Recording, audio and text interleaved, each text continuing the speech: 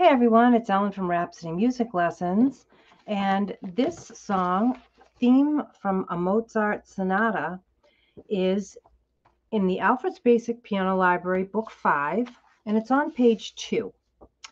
So this song has fifths, sixths, and sevenths in it for intervals. Fifth, a fifth, a sixth, there's a seventh. If we went down one more, we'd be playing an octave. Okay, and then we're back to our sixth. So that you just want to watch for those. And this is how it goes. If you like my channel, I'd really appreciate it if you'd hit that like and subscribe.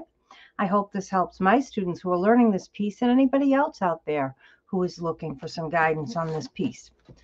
Okay, uh, also I will leave you a link to where you can get this book with the purple on the cover here on Amazon. So here we go.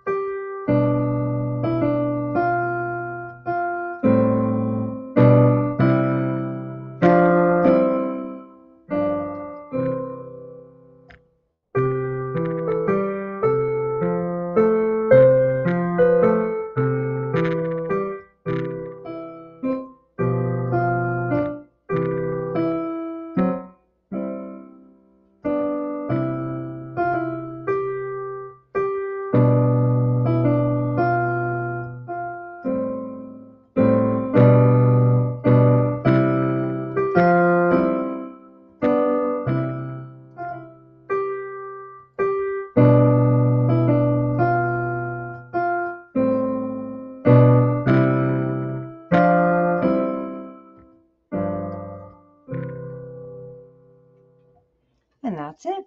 I hope this helps anybody who's out there learning this and have a great one. I'll see you next time. Bye bye.